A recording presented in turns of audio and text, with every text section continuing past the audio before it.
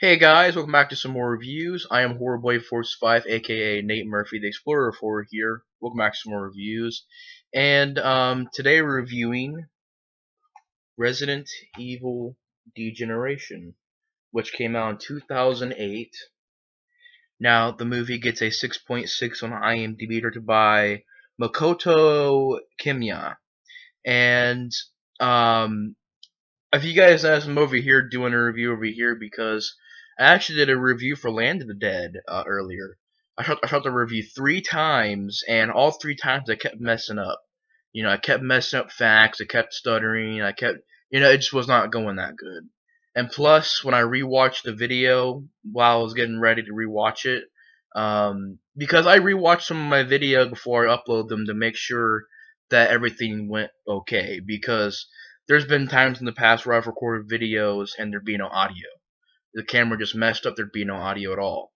And um, I, I went back to go and rewatch the review, and I noticed that as the review progresses along, you can actually see like a sunbeam, like it was right here, you know, a sunbeam, and it just kept growing and growing, and like half the screen was covered in a sunbeam, so it got really annoying. So I decided to review that movie for you know for a little bit later on this week because I didn't want to review it four times in a row. So I decided to review this movie instead, Resident Evil Degeneration. Now, I will probably review one of the live action movies next year. Uh, maybe the first movie because I'd say probably the first movie my favorite out of those out of the live action movies. But Resident Evil Degeneration I think is is basically how the live action movie should have been because the live action movies sort of, you know, strayed away from what Resident Evil was. And Resident Evil was all about being in this place, walking around collecting items by yourself, atmospheric, you know, thunder and lightning, zombies everywhere, suspense and, and scares. Um, grant the more recent games are kind of more action now. Uh, Resident Evil 7 kind of looked like it had a little bit of suspense to it, but I don't know if it has zombies in it. You know, it didn't seem like it had zombies in it at all. Um, but the more recent games are more about action than anything else. Um, but I feel like this is how the live action movie should be. You know, and you actually got Leon Kennedy and Claire Redfield in this, and they're both voiced from people from that from people who voiced them in the games. I believe the guy who voiced Res I believe the guy who voiced um, Leon was from Resident Evil 4, and I believe the the, the girl who um, voiced Claire Redfield was from Resident Evil uh, Code Veronica X. Um, which I actually really enjoy that game. I'm not even sure why everybody. I mean, not everybody hates that game, but it's not really a Resident Evil game that's talked about a lot. But I actually really enjoyed Resident Evil Code Veronica X. And imagine this being basically a giant cutscene. I mean, you take one of the Resident Evil games and make it pretty much an hour and 38 minutes of a cutscene. That's pretty much what this is. It kind of reminded me of that. Um, but, you know, in a good way. It's not a bad way, but in a good way. You know, and the movie's a very fast paced action horror animation film. And the animation for its time, 2008, is very good and I like the idea of it taking place with an air in an airport. I like the idea of it taking place after Raccoon City, and you know the guy who played Leon and the girl who voiced um, Claire did a good job. Um, some of the side characters that you know that were pretty decent, like the little girl did a good job, um, and um, the guy who pretty much becomes the G virus monster at the end of the movie um, did a decent job. So you got decent voice acting and really good animation for the first time. And it's very fast paced. I really enjoyed it. It's what the live action movie should have been. I thought that um, Makoto did a good job directing the movie. You know, it's a very well animated film, and it's I keep saying it. It's what the live action movie should have been. Because you look at Resident Evil, you look at Resident Evil Retribution and you look at Resident Evil Afterlife. Um, Resident Evil 1 I enjoyed. Resident Evil 2 is a fun time for me.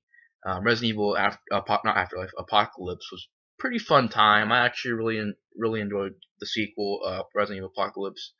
Um, Resident Evil 3 Extinction was pretty decent, but after Resident Evil 3, things started going downhill because the series really didn't make sense. And even from the first movie, um, I really enjoyed the first Resident Evil movie. I enjoyed the sequel, Resident Evil Apocalypse, and Resident Evil Extinction was pretty decent. Even though I enjoyed those movies, um, they still were not like the games. If you think about it, you know there is zombies in there, but the first movie and the second movie and the third movie, even though they had zombies in there, it wasn't really as atmospheric as the games. It really, it really, it wasn't. It wasn't even. It, it besides the zombies, it was hardly even similar to the games. So I view this as sort of what it should have been. And what it should have been is had Leon and Claire the main stars and not Alice. Even though I thought that Milla Jovovich did a good job in the first three movies, but after that started getting really bad. But this movie, you have Leon and Claire as the main stars, how it should have been. And you know, pretty much what's happened is it takes place after what happened in Raccoon City, um, and it takes place at the Harvardville Airport. And Raccoon City's pretty much been exploded, um, bombed, it's gone. And one day, the virus ends up escaping from Raccoon City, and this airport goes into quarantine. You know, you got that great scene where they're in the airport and, you know, they're seeing these protests that are going on towards this uh, guy who I guess was sort of responsible for the virus getting out. And you got this character, which I'm going to see if you guys can see it. But you got uh, this character right there. He's pretty much uh, walking around, doesn't really talk that much at first. And then you realize that you know, he's the one who's responsible for this happening, and he's the one who, you know, later becomes the G virus monster. And the beginning of the movie, you got the airport outbreak, which was really cool. I mean, zombies. You know, at first you got these people protesting. You see people in zombie masks, but then they had that great scene where they go up to a real zombie. They try to arrest it, and the zombie bites, of course, the security guard, and you know, it basically, you know, one person bites one person and it leads on to an entire airport full of zombies. And the zombies are well done. They were well designed. I mean, they were just well animated. And the animation, like I said, it's for its time was really well done. And it still looks pretty good. And pretty much Claire Redfield at this airport and she's trapped inside of it as quarantine.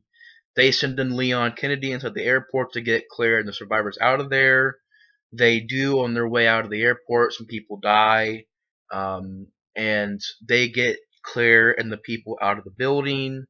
Pretty straightforward so far, and then you get to the end, towards the end of the movie where, you know, Claire goes to this laboratory, finds out that it's pretty much run by Umbrella. She goes inside. Leon finds out that the long-haired dude um, pretty much he's the brother to uh, his friend who's a SWAT team member. Her brother ends up being against, you know, Umbrella, so he goes into the Umbrella laboratory and injects himself with the G virus. And it's a really cool idea, and I really do, and I really do like how they include that in this movie because it was from Resident Evil 2. Um, and granted, I mean, Resident Evil Extinction had a scene where, you know, he injected himself with the G virus, but it made more sense to be in this movie than it did in Extinction. Extinction, it was just sort of like they threw in the G virus here. It was done well. He goes into the laboratory, injects himself with the G virus, and becomes a G virus monster. And it's a really cool design where it's like an eyeball on the shoulder. Um, really, really cool design. And pretty much grows into this huge creature. And you got that great action scene where Leon has to fight this giant creature. And, you know, he's shooting it, shoots these things, and the floor pretty much falls down and kills the uh, creature. And you know, pretty much him, the SWAT team girl, and Claire, they all live. Although I really do wish that Claire had a little bit more to do. Because you think about it, all she did was, when she's in the airport, um, run away from zombies. She really didn't fight the creature that, she didn't really fight the creature at all, I don't think. And they find out that I don't I don't think actually the long haired dude I think he was he was against Umbrella. And at first you think it is him that caused the outbreak. But then you find out there's this guy with his glasses on, pretty much working for Umbrella. Find out he's responsible for what happened. And after they're done killing the G virus monster, they hunt down this dude that's that's got glasses on. He's he's working for Umbrella. You know, Leon and Claire and uh, the SWAT team girl. They hunt the guy down. He's getting ready to sell the G virus or T virus, something like that.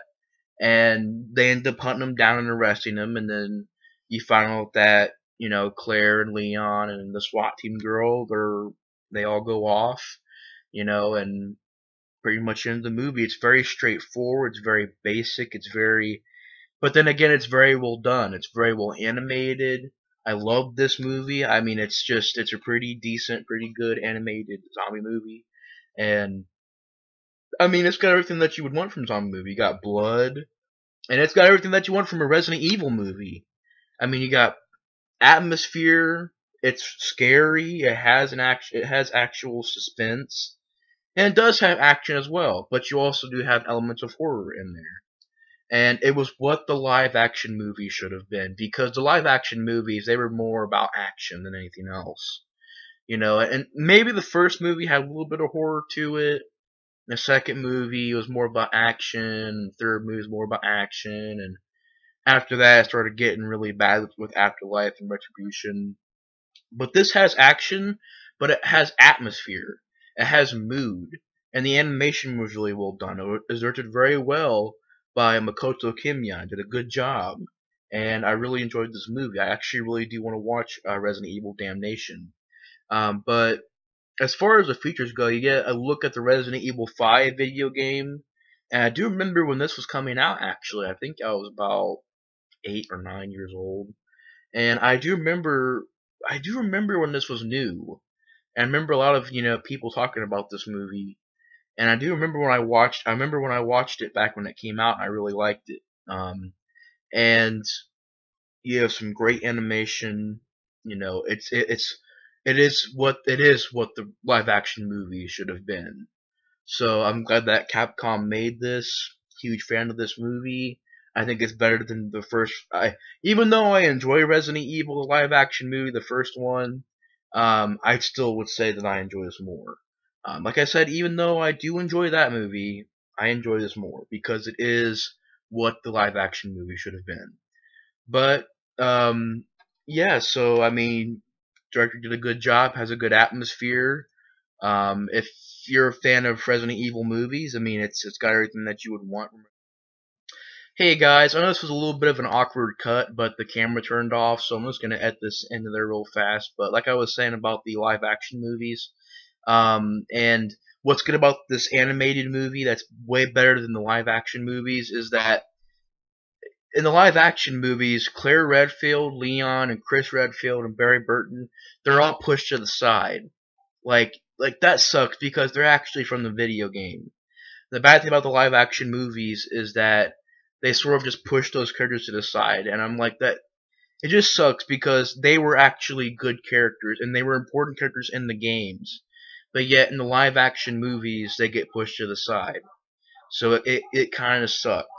Um, but um, sorry about that, guys. If you guys can hear that, but um, yeah, I just figured at this part ended it real fast. Um, but the the bad thing about those movies is that pretty much the important characters from the video games are pushed to the side.